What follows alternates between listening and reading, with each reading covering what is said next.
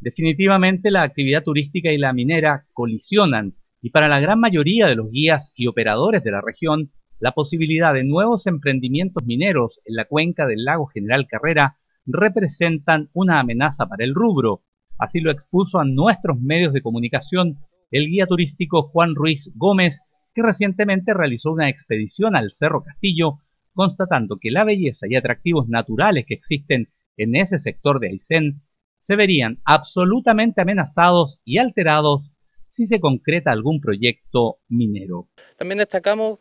a toda la comuna de Río Áñez como un foco del turismo, del trekking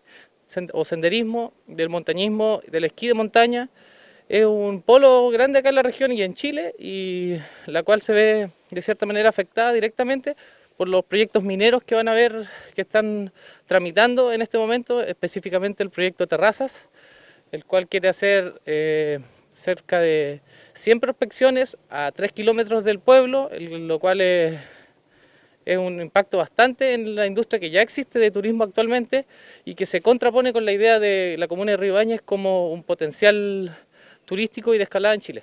Han habido varias asambleas y actualmente eh, mucha gente o la gran mayoría coincide en esto, también con el tema de Chile Chico y la minera Los Domos.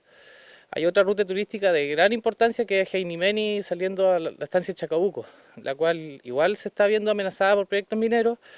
y básicamente es la misma gente que luchó por Hidroicén, que luchó en contra de las represas y que ahora se está cuestionando estos proyectos mineros que no dejan tanto trabajo como la industria turística que actualmente tiene un auge gigante en toda la región de Aysén y que contrapone estas dos visiones. El guía indicó que las organizaciones antiminería de Chile Chico, Guadal, Puerto Sánchez, Río Tranquilo y Puerto Ibáñez tienen argumentos sólidos para oponerse a esa actividad y esperan que las actuales autoridades reconozcan que el turismo es una actividad sustentable y no contaminante, no así la minería.